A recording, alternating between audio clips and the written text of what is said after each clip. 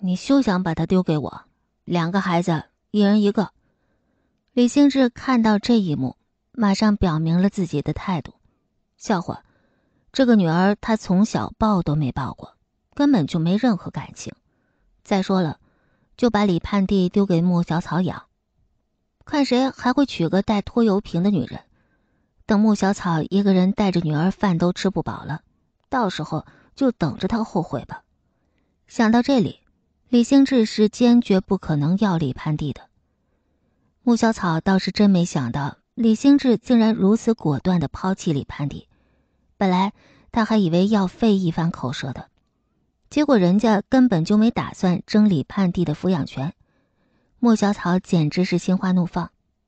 行，这是你说的，村支书，各位乡亲们，你们给做个证，今天是李兴志他不要我们母女的。从今以后。我跟李盼娣和李家再没有任何关系了。穆小草提高了声音，冲着所有人说道。李兴志冷哼了一声，带着李虎就走了。穆志军则是跟着追了过去。你们这真是胡闹！陈向阳紧锁着眉头，说完后也转身离开了。剩下的这些看热闹的村民，有些人散了，但是还是有一些最爱嚼舌头的妇人留了下来。他们肆无忌惮，开始大声议论了起来。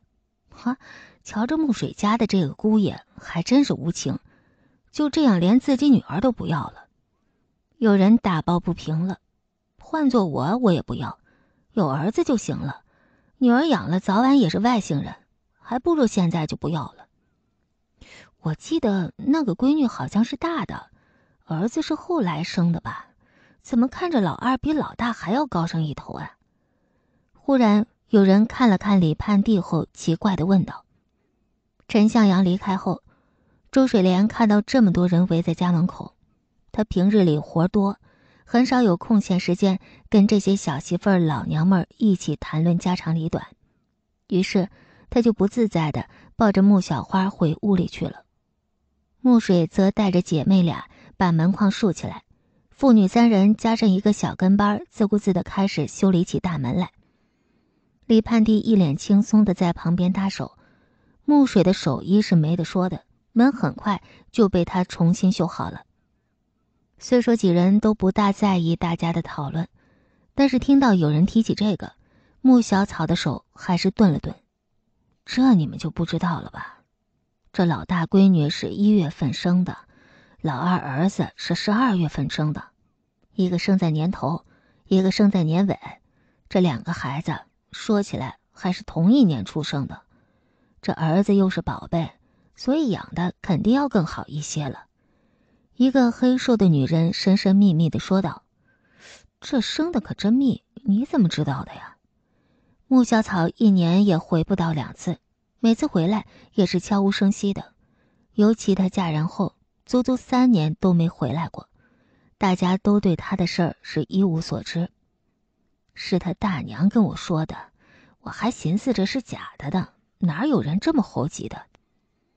黑瘦女子捂嘴痴痴笑了起来，围在一起的妇人们也彼此露出了一副意味不明的笑来。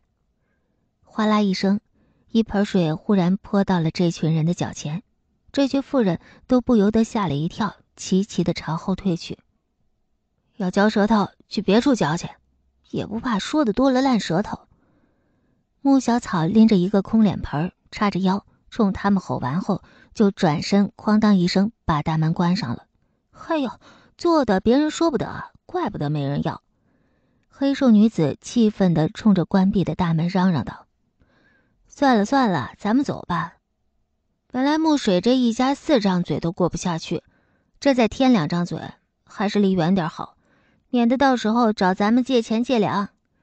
就是就是，走吧。”回头看他傲什么傲？门外的人就都散去了。陈旭辉看了看木水家的门，慢慢的迈着步子也离开了。听着门外的这些闲言碎语，穆小草反而一脸的淡然了。他重重的松了一口气，穆秀则是有些不淡定。穆秀本来看到李盼娣和李虎，也是觉得，怎么李虎看着比李盼娣还要高大壮实？本以为。这是李家重男轻女造成的，结果却没想到竟然是这个原因。原主一直小，什么都不懂，可是木秀却是一听就懂了。这相当于穆小草刚出了月子就又怀上了老二，这分明就是李家迫不及待的要孙子。结果在那群长舌妇嘴里，却意味那么不堪的李兴志这种行为，简直就是禽兽不如。这种人早就该离开了。几人回到屋里，周水莲正抱着穆小花在抹眼泪。穆水见状，上前安慰道：“孩子娘，你哭什么哭呀？”这是好事儿，这算什么好事儿？先是咱们一家被赶出来，现在小草也被婆家赶出来了，这都不知道别人怎么笑话咱们呢。周水莲说着，又擦了擦眼泪。别人，别人，别人重要还是你女儿的幸福重要？你要是嫌我碍眼，我现在就带着盼弟走，我还不信我们娘俩能饿死在外面。穆小草如今看到周水莲这个样子，就觉得烦，自己软的扶不起来，还要让自己的孩子们跟自己一样。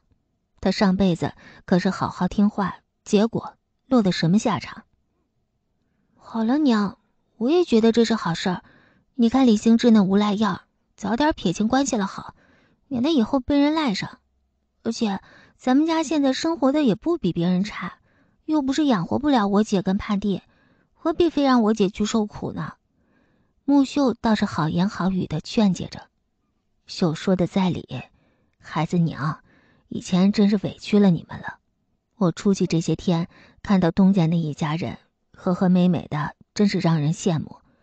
以前我总想着爹娘不喜欢咱们，咱们就多做听爹娘的话，这样他们就喜欢咱了。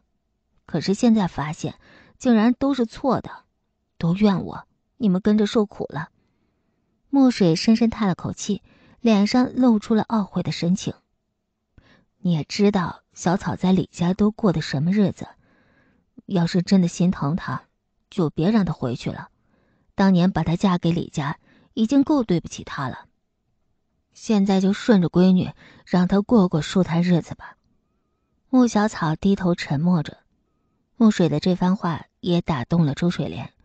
周水莲止住了哭声，她拉起穆小草的手，有些后悔的说道：“小草，是娘不对，你不要怪娘了，不要。”